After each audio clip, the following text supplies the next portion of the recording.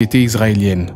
En 2015, lors du congrès sioniste mondial, il déclare que Hitler ne voulait pas exterminer les juifs. Selon Netanyahou, l'idée lui serait venue après sa rencontre avec le mufti de Jérusalem de l'époque, Hajj Amin al-Husseini. Hitler didn't want to uh, exterminate the Jews at the time, he wanted to expel the Jews.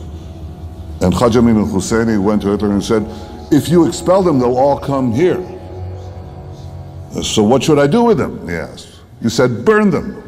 Tous les grands historiens américains, tous les grands historiens israéliens disent mais c'est une dinguerie, il invente tout.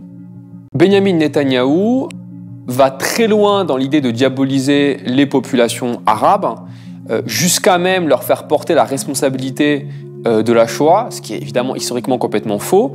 Euh, il va aller par exemple jusqu'à manipuler un fait historique réel, hein, qui est que celui que les Britanniques avaient hissé comme grand moufti, euh, donc Husseini, hein, avant la création d'Israël, donc à l'époque du, mandat britannique, euh, eh bien ce Husseini-là avait cru bon, jugé bon, de considérer que euh, l'ennemi mon ennemi est peut-être aussi mon ami, et donc il avait été rencontré, Adolf Hitler, à Berlin. Sauf que cette